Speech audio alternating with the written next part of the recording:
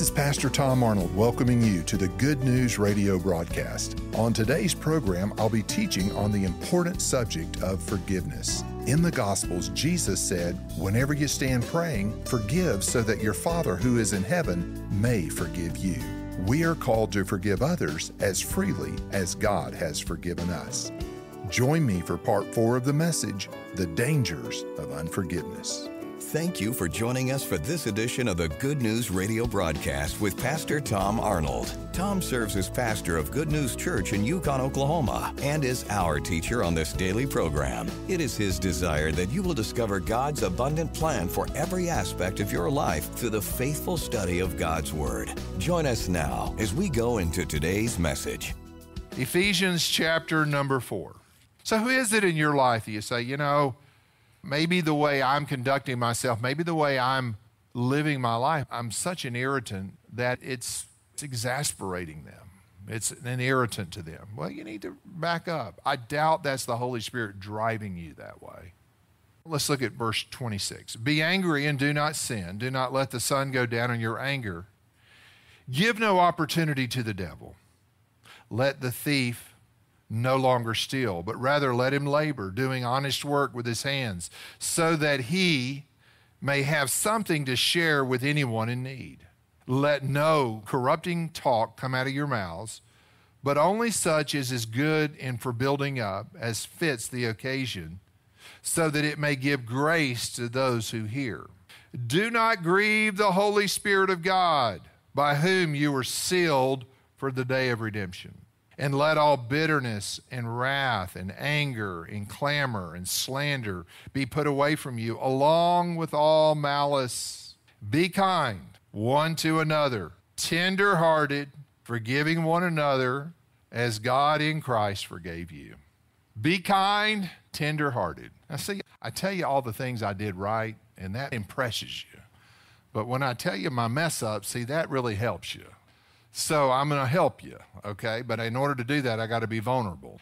I remember one time, now believe it or not, Pastor Tom and Sharon had a tiff. I know y'all can't believe that, but she did something. I don't know what it was, but anyway, I'm, you know I'm teasing.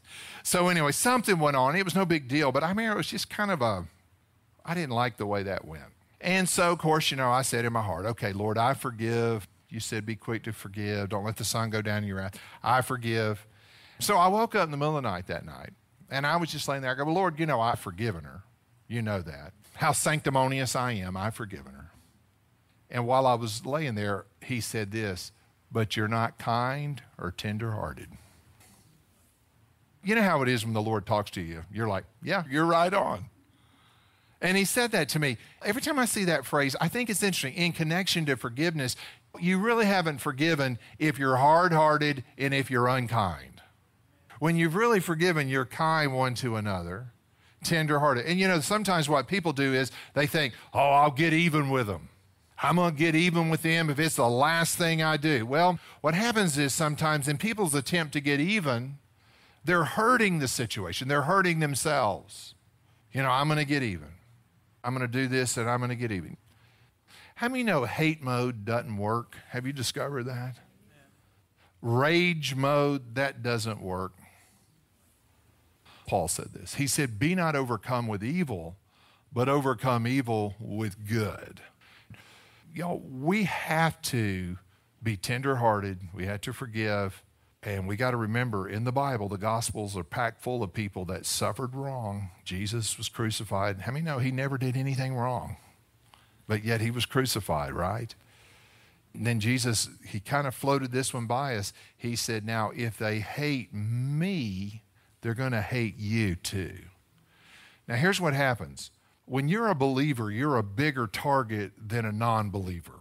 When you have the Word of God in you, the Bible says that when the seed goes on the ground, immediately the birds came to take up the seed that was sown. So when you have a lot of seed, a lot of God's Word in your heart, the enemy's going to show up those birds, the parable of the sower, they represent demonic powers. And the devil's coming to steal the word out of your heart. You're in a bigger battlefield than you think you are. You're in a spiritual warfare whether you think you are or not. Because, see, it's not just about you, but the enemy wants to render you ineffective.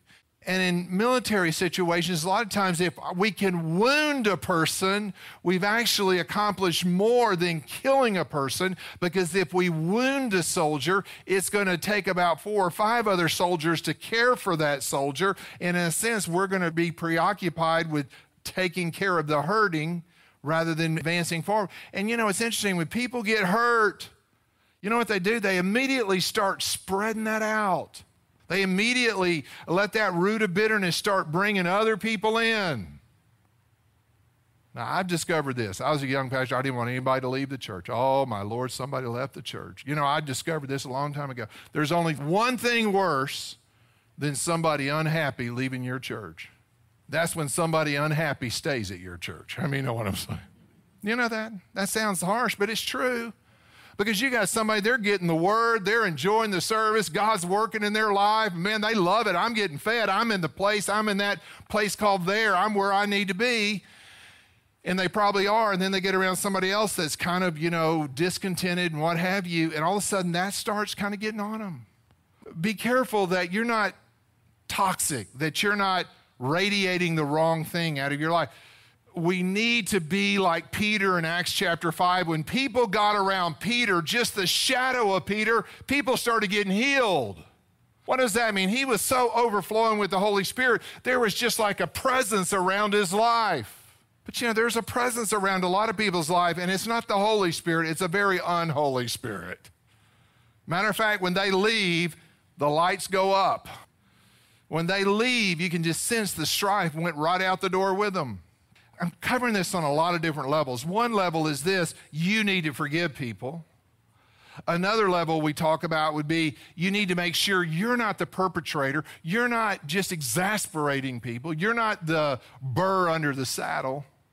Now, that doesn't mean you back off truth. That means the salt loses its savor. Jesus was straight up, Jesus cared about the hurting. But he could tell those that had an honest and sincere heart versus those that were really just trying to catch him in what he said, and they were just looking for ways to trip him up.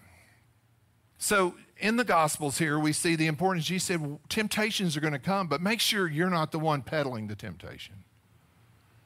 We need to live in such a way that our relatives see God in us and it draws them to the Lord.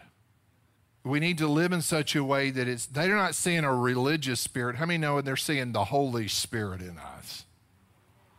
And that's what really matters. That's what's so important in our life. So let's go over to 1 John, would you? 1 John chapter number 1.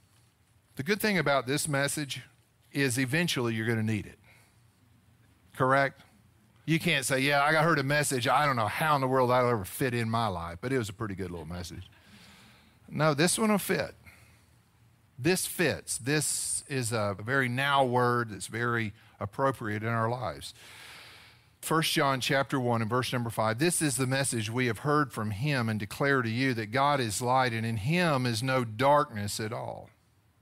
So this is the message that we have heard from him and proclaim to you that God is light and in him is no darkness at all. Notice verse 6. If we say we have fellowship with him while we walk in darkness, we lie and do not practice the truth. But if we walk in the light as he is in the light, we have fellowship with one another Notice that phrase, fellowship with one another. Did you know God really wants the body of Christ to have fellowship with one another? Well, they don't believe the way I do. They don't see eye to eye with me. How many know they're still in the body of Christ? The kingdom is more than our camp. But notice this phrase, fellowship with one another. And we have fellowship with one another. In the blood of Jesus, his son cleanses us from all sin. If we say we have no sin, we deceive ourselves and the truth is not in us. If we confess our sins, he is faithful and just to forgive us of our sins and to cleanse us from all unrighteousness. If we say we have not sinned, we make him a liar and his word is not in us. Now, I'm reading this because I want you to just notice the premium and the prize that the Lord looks on this phrase. Hear this fellowship with one another. God wants us to have great fellowship with the body of Christ. God wants us to have great fellowship with believers and people that are around us. Now, notice over here in the second chapter, in verse number 10, whoever says that he is in the light and hates his brother is still in darkness. Now think about that. Whoever says, I'm in the light, but they hate their brothers. Be careful about that word. I hate them. Oh, I just hate them.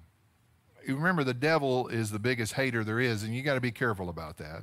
And then the Bible says, Whoever loves his brother abides in the light. Now, this is the promise. And in him there is no cause for stumbling. Did you know whenever you're walking in the light and you're walking in love, there is no cause for you to stumble. There's nothing going to trip you up. Lord, I'm just going to walk in love on this situation. Whoever hates his brother is in darkness and walks in darkness and does not know where he is going because the darkness has blinded his eyes. So you got people that they're calling themselves believers, but they're hating people. I'm talking about a predetermined decision. I'll never talk to them the longest day I live.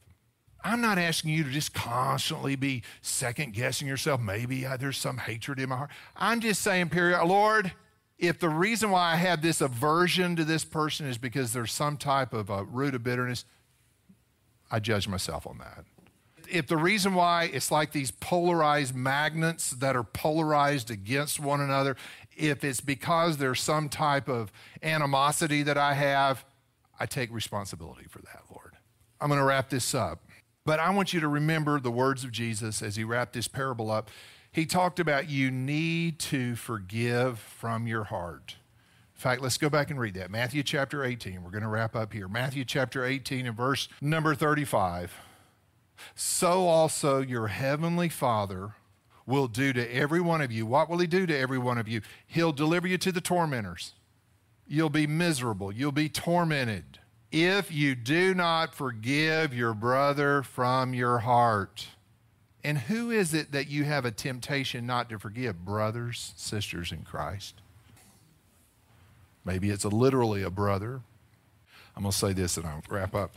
Years ago, I went and saw a man at the hospital. Somebody had asked me go see him. It was Frosty Peak. It was his father in law. He said, Would you please come see my father in law? Because he didn't have much time to live. And this man, I believe he was in his 90s, and I was talking to him. I said, You know, we're going to pray together. I said, But I always like to cover this. Remember in the Lord's Prayer where Jesus said, When you stand praying, forgive if you have aught against anybody, that you'll be forgiven. I said, You know, is there anybody you need to forgive? And I remember he looked at me and he goes, You know, when you're as old as I am, all your enemies are already dead. I've outlived them. Now, here's what I want to say. You know, the best way to outlive an enemy, outlast an enemy, outlove an enemy. I love them. That doesn't mean you condone what they're doing and you're going to help them. You're going to help fund their drug addiction. You're going to help fund their alcoholism and their gambling habit. I'm not suggesting that. But I'm saying from your heart, you're not operating out of hate towards them, you're operating out of love. Thanks for joining me today. It's so important to remember to live a life of forgiveness towards others. It's been said if you want to live a miserable life, just live a life of bitterness. Ephesians 4 reads, Get rid of all bitterness. Instead, be kind to each other, tenderhearted, forgiving one another just as God, through Christ, has forgiven you. Thank you for listening to today's message. You can hear this message again by visiting online at goodnewschurch.tv. To listen to this and many other messages by Pastor Tom, download the Good News Church mobile device app by searching for Good News Church Yukon through both the iTunes and Android stores. Through the website, you can also subscribe to the podcast. Pastor Tom invites you to visit Good News Church whenever you are in the greater Oklahoma City area. Good News is located at the intersection of Main Street and the Yukon Parkway in Yukon. He welcomes you to worship with them on Sundays at 10 a.m. Good News Church. It's a great place to be.